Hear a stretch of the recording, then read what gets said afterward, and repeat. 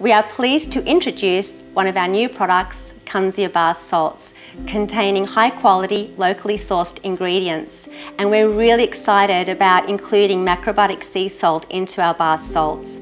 Fresh from the pristine waters of the Great Barrier Reef, these salts are beautiful, hand harvested and sustainably sourced and contain high amounts of sea minerals and marine trace elements to help nourish your body.